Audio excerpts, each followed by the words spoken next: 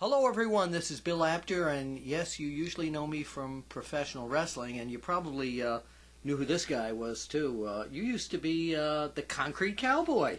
Yes. That's it.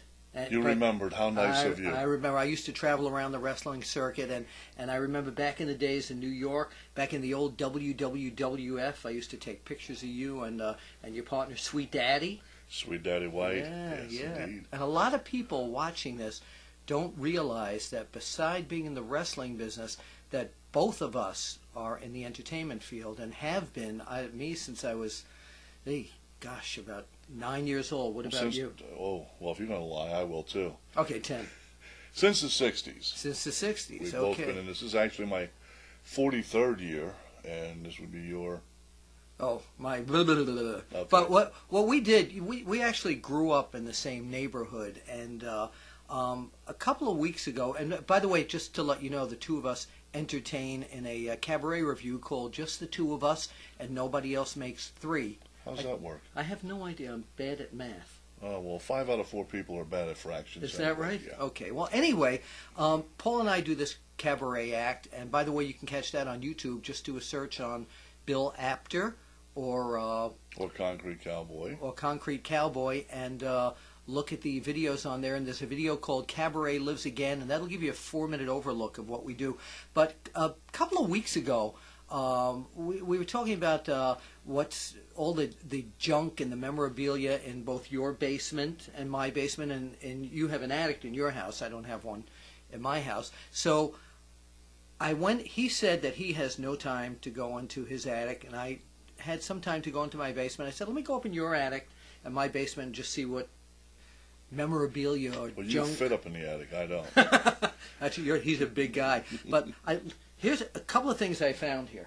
All right, I found. Remember your old record album here, the Stan and Laurel, the Stan Laurel and Oliver Hardy record album. Well, Yeah. I certainly do, Wait, wait, Stanley. wait, wait, wait. We're we're in the wrong position. No, we're in the right position. So let's We certainly are.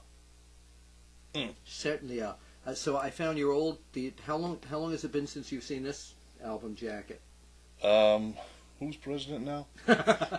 And then I found I'm going to put this down over here. I found your old uh, your old Jimmy Cagney uh, Yankee Doodle Dandy album. Oh, I love that. I know you like yes, that. you I do. we both that. do very much. I like that. I'm a Yankee Doodle dandy. And then Who are you calling a dandy? Oh, then in your attic here and oh no. in your attic I found this picture of my father and your father, your pop and my pop together hanging out at, at that place in New. York. Place in New York, their place. Well, we we used to fondly call it Pop's Place, and and and through the years, Paul and I kept saying the one thing that we always wanted to do was, no matter where it is, um, create something in honor to this great guy and this great guy, to our pops, and just call it Pop's, Pop's Place. Place. Yeah, yeah. And we've been talking about this for years, and you know, all, all the places we go and entertain takes on the uh, an air of being Pop's Place because we always dedicate our shows to our, our pops and our moms too, of course. But there's just something about calling it Pop's Place that was wonderful. Well, your dad was the uh, did a lot of shtick and yeah, yeah, yeah. vaudeville type of uh, Yep. humor, and That's true. uh, my dad was with the big bands, Yep, yep. and they yep. both uh, actually got together often and talked about the old days, Yeah, relived that- the old days, and kind of like we're doing now. Yeah, and then, now here's something amazing. We were always thinking, and we're always, you know, in our heads thinking of a prototype of uh, when we open a Pop's Place or we take Pop's Place on the road because Pop's Place eventually is going on the road. It's coming to lounges. It's going to be on the radio. It's going to be right here uh, on internet TV.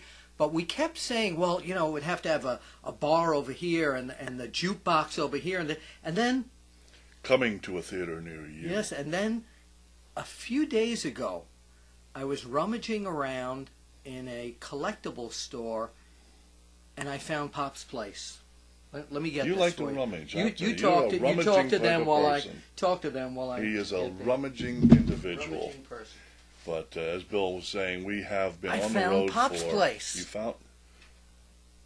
Oh my goodness! Can you can you bring it up a little bit? Let me see here. Oh, Well, there's a microphone in the middle, Oh. but why don't you point? Well, Why don't you point out what's you've what? got the jukebox, There's the jukebox. the lounge type chairs and bar with the, you know, the the um, liquid libation. Right. Yeah. And the then bar the, uh, stools. The lounge setting over here with the uh, the high top tables and the and the and the wraparounds and yeah. Yeah. just the way yeah. we've always envisioned it. That that would be Pop's place. Yeah. a nice, friendly place where you could go and be entertained and meet with your friends. And that's what we want to bring to the stage is that type of entertainment. Yeah, now now until Pop's Place actually gets out there and, and we are traveling with it, but until it Pop's Place becomes what you saw in this picture, every once in a while we're going to be back here right on this site bringing you just some tidbits about uh, Little things. teasers. Yeah, little teasers about Pop's Place. Uh, maybe some. Uh, maybe we'll delight them with a song or Well, something Well, they can like that. also have Pop's Place for a fundraiser Well, that's true. That's or true. And, a but- party. or a party. And what what phone number would they? Call? You have a direct line to Pop's place. Yes, what, I what, do. What's the phone number? That would be the area code of 215 659 6706. and uh, you'll get this guy because that's uh, that's the direct line Or to uh, to Pop's. in the office that day. Yeah, to Pop's place. And uh, but every every once in a while we're going to come back on here and uh, They can And- email us too. they where to You where? And an email address. Yeah, that'd be really good. What's your email address? What's Pop's email Oh, address? Pop's email. Well, you can actually email at paulbigbear at AOL dot com. Paul Big Bear at AOL.com. And uh, as I was trying to say before, before I was so rudely interrupted, Well, you certainly I certainly was that we'll be back every once in a while with some nostalgia tidbits and and good things to tell you and talk to you and let you know where we're going to be appearing, aren't we? Well, I didn't want to interrupt you again. We could also bring them some footage of um, Of of what we do. of our performances, we Little- can do little, that too. You know, snippets and tidbits. But and- it's all here, and we will be back, and uh, we're hoping to uh, see you at one of our events. In the meantime, Pop's Place TV. and I want to step back into that former years.